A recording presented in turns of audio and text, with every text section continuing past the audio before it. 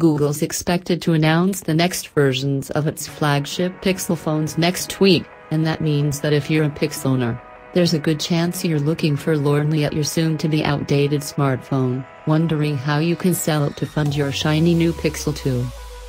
It turns out that the best way to trade up to a new Pixel 2 will probably be through Google itself. The company just added both the Pixel and Pixel XL as eligible devices to its online Google Store trade-in program. It's also offering really good prices on the older phone, as spotted by Droid Life. For the smaller Pixel, Google is offering $350 for the 32GB model, and $360 for the 128GB version. The Pixel XL gets $400 and $410 for the 32GB and 128GB versions, respectively.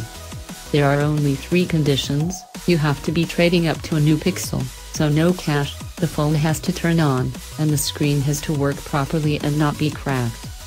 Given that the Pixel 2 is rumored to cost $649 for the 64GB option and $749 for a 128GB model, the $350 off is a pretty hefty saving, and better than most trade-in deals you typically see for year-old phones.